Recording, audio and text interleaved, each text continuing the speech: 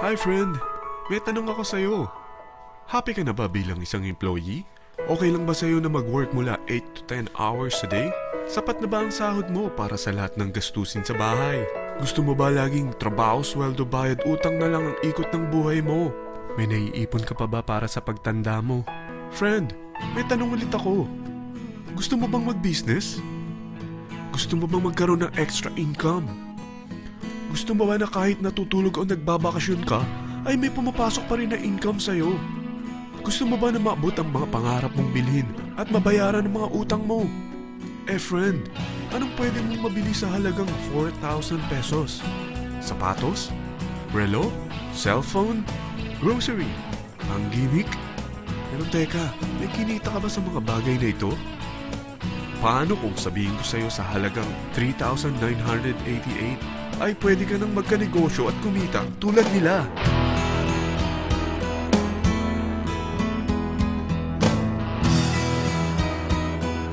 Parang mahirap paniwalaan, hindi ba? Pero nangyari na sa kanila. At posibleng mangyari din ito sa'yo. Alam kong interesado ka, friend. Kaya makinig ka lang at buksan mo ang iyong isipan. Dahil hindi mo lang mabibili ang gusto mo, pati mga pangarap mo ay matutupad sa tulong ng V-Mobile. Ang V-Mobile ay nag-start noong April 29, 2008. Katulong niya ang Penta Capital Investment Corporation sa negosyo. At ito ang mga companies na tinutulungan din financial ni Penta Capital. Ang bigat ni Penta Capital, no? Kaya talagang bigatin din ang V-Mobile. Ang V-Mobile ay registered at legal na nag-ooperate sa kanilang office sa Galleria Corporate Center sa Ortigas. Ang product ng V-Mobile ay hindi lamang para sa matataba, matatanda, pampabeauty, o pampalusog. Ang product ng V-Mobile ay ang Load Extreme, kung saan maaari kang mag-load sa lahat ng network gamit ang sarili mong cellphone at SIM. Lahat tayo ay may cellphone. Lahat tayo kailangan ng load. Kaya hindi mo na kailangan pa itong explain. At sila na ang lalapit sa'yo para bumili. Sino bang yumayaman sa loading business? Ang Globe, ang Smart, ang Sun. Bakit hindi tayo makihati sa mga nakukuha naman nila?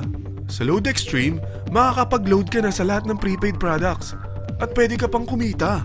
Sa traditional loading system, kakailanganin mo ng tatlong cellphone, tatlong SIM, at tatlong load wallet. Ngunit sa Load Extreme, pwede ka na magsimula ng small business mo gamit ang iyong existing cellphone at SIM. Kahit anong network pa siya. So anong pipiliin mo? Ang traditional system o ang Load Extreme? Sa package na 3,988, magiging dealer or technopreneur ka na. Ang mga kasama sa package na ito ay 20 quick guides, 20 price list, 2 load na dito tarpaulin, at 20 pieces na retailer or techno user card. Meron din itong 3 cellphone SIM. At lahat ng ito ay nakapaloob sa isang napakagandang bag. Alam mo ba, mabebenta mo ang isang retailer or techno user card ng 250 pesos. So, sa 20 pieces na ito, kumita ka na agad. Meron ka bang 20 na friends, relatives, office mates, schoolmates, neighbors, na merong cellphone? na gustong magkaroon ng 10 to 14% discount sa kanilang load, na gustong magkaroon din ng negosyo. Hindi ba ang daling ibenta nito? Alam mo ba na may limang paraan para kumita rin dito? Number 1. Magbenta ng load at makakuha ng 10 to 14% na tubo or income. Kapag naubos ang laman ng load wallet mo, ay pwede kang mag-replenish nito sa kahit saang branch ng BPI, BDO, Metrobank, at Union Bank sa V-Mobile office or sa fellow technopreneur or dealer. Number 2. Ang 20 pieces na techno user o retailer card ay pwede mo ibenta sa mga gustong mag-e-loading business sa murang halagang 250 pesos or sa mga taong gustong makakuha ng 10 to 14% discount sa load. Number 3. Kung bawat isang retailer mo ay nagpapaload ng 1,000 pesos sa isang araw at sa loob ng isang buwan, ito ang maaari mong kitain. Dahil sa gusto nilang kumita ng 10 to 14% sa paglo-load, ikaw naman ay kumikita ng 1 to 2% sa ayaw at gusto mo. Di ba ang galing? Paggising mo bukas, nadadagdagan na naman ang pera mo. Number 4. Hindi ba sa isang product laging may endorser? At sila binabayaran ng produkto para lang sabihin na maganda ang product nila. Sabi ng V-Mobile, bakit hindi na lang ikaw ang bayaran nila sa pag-endorse ng Load Extreme? Pag na-endorse mo ang product at meron kang na-invite na maging dealer tulad mo, magkakaroon ka ng 500 pesos na incentive kada isang tao na may pasok mo. Number 5. Pag meron kang invite na nag-pair, magkakaroon ka ng 500 pesos bonus kada isang pair.